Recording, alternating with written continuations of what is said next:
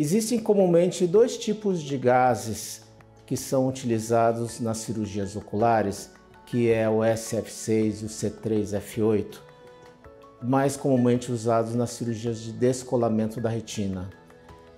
A indicação é para que esses gases dentro do olho possam manter a sua retina colada no pós-operatório. Com o tempo, esses gases são absorvidos pelo próprio organismo, fazendo com que o olho reponha o líquido chamado humor aquoso dentro da cavidade ocular. É muito importante no pós-operatório que seja monitorado a pressão ocular para que não haja danos no nervo óptico por aumento de pressão.